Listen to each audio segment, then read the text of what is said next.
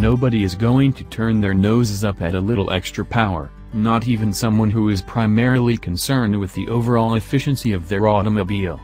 And not even when the increase is only by 14 horsepower and 15 pound-feet, as is the case with the new BMW i's over the standard version of BMW's little electric hatch. But a mild power increase isn't all that separates the new BMW i's from the standard i3. There are a whole host of small improvements that make the i's a better automobile than the original, which continues on sale without any of the power or suspension updates you'll read about in this review. There's no increase in the lithium-ion battery's capacity of the i's, which remains at 33 kilowatt-hours. If you've got BMW's iCharging station, the i's will deliver about 90 miles of range in a little under 3 hours. Even if you don't have the official BMW charger, charging options abound, and you can always just plug into a standard 240-volt outlet and wait about 11 hours for a full battery. In other words, just charge it up overnight for the next day.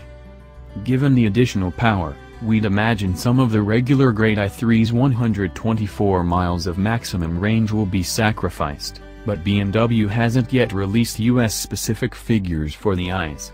We don't expect a massive drop in real-world range, but when you're driving electric, every little bit counts.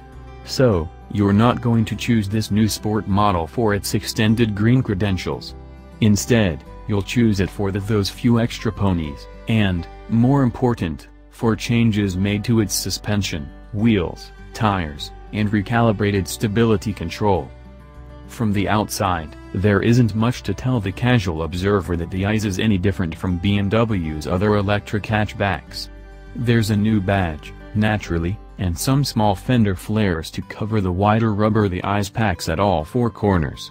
The 20-inch wheels are each a half-inch wider, and the tires are 175-55 up front, and 195-50 at the rear.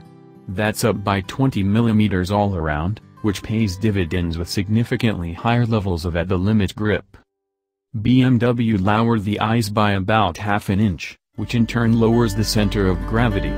This helps the car feel planted, especially during quick side-to-side -side transitions. We were only able to test the regular EV-only version of the i's, but it will also be available as a range-extended model with a 647cc gasoline-fueled engine to keep the onboard battery charged up.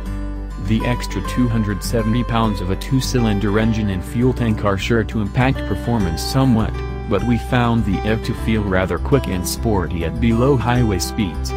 BMW quotes a 0-60 time of 6.8 seconds about a half second quicker than the standard i3, and the instant torque of the electric motor makes it feel powerful off the line.